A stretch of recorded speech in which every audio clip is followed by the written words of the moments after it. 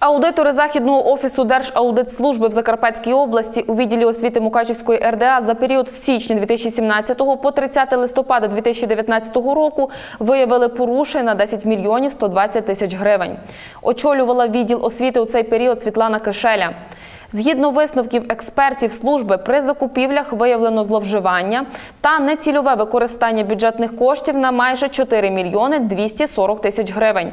Порушень при використанні майна на майже 6 мільйонів, яке на час ревізії обліковувалося за нульовою вартістю, а деяке взагалі не перебувало на обліку закладів освіти, та недостачу мультимедійного обладнання і ноутбуків.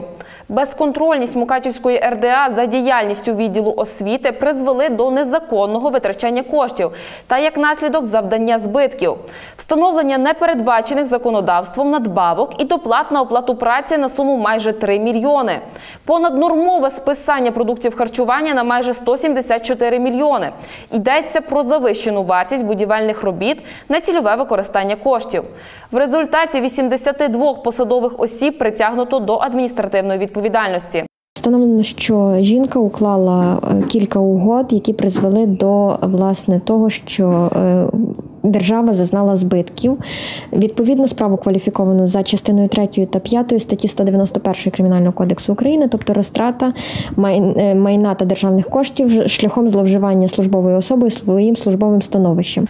Нагадаємо, депутати Мукачівської районної ради кілька разів визнавали роботу Світлани Кишелі незадовільною. По управлінню освіти ми прийняли повторно, бо ми вже один раз приймали рішення таке, повторно запропонувати е, визнати роботу її незадовільною.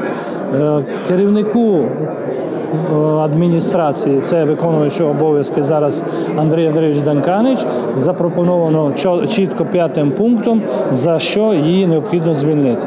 Там за порушення присяги, за моральну аморальну поведінку і так далі. І так далі.